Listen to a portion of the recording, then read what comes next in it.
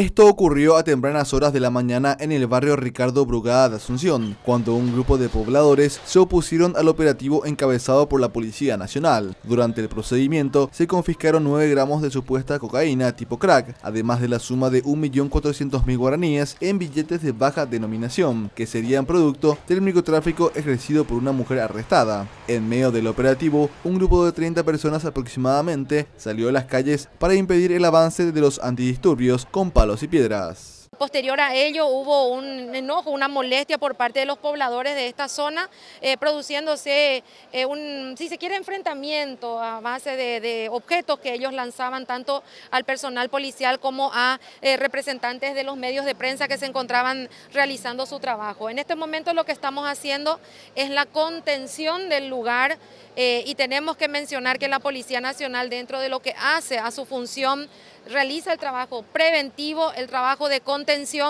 pero necesitamos el apoyo de otras instituciones para hacer rehabilitación a esta gente, que por lo que vemos hay niños menores muy pequeños de 8 o 10 años ya que están cayendo en la enfermedad de la droga. Las mujeres del barrio llevaban niños pequeños a la protesta para utilizarlos de escudo, mientras insultaban y agredían a los uniformados. Algunos resultaron con heridas leves. También un reportero del canal 9 TV Sedocora resultó víctima de las vecinas. Un contingente de agentes antidisturbios llegó al sitio para desalentar la protesta de las mujeres antes de que pasara mayores.